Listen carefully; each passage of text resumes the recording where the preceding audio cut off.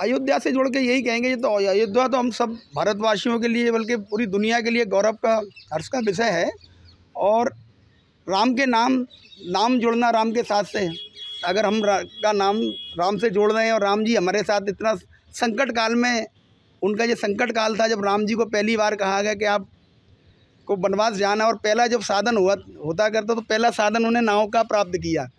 और उस नाव के साधन में हमने उनको पहले उनकी जो दुख पीड़ा थी घर छोड़ने के बाद, वो दुख पीड़ा को उनने अपनी नाव पर बैठ के जाके नैया पार की है और केवट देखो, केवट जी का क्या रूप है कि भगवान राम जी, लक्ष्मण, सीता जी को बिठाल के हृदय से खुशी से जा रहे हैं। वो चीज़ दर्शाने की हमने कोशिश की है।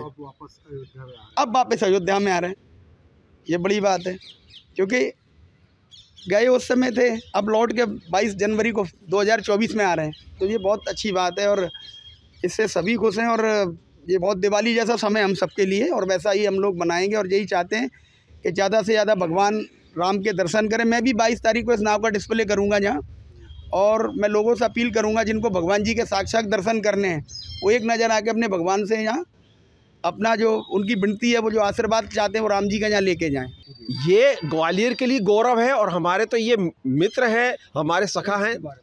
ये गौरव की विषय इसलिए है कि आज जो हमारे भारत के अंदर रामलला जी का जो मंदिर का निर्माण हो रहा है, उसको देखते हुए और इसको देखते हुए ये ग्वालियर में जो चीज़ है, ये भी कोई कम नहीं है, अपने आप में एक विभूति की तरह से इसको हम मानते हैं।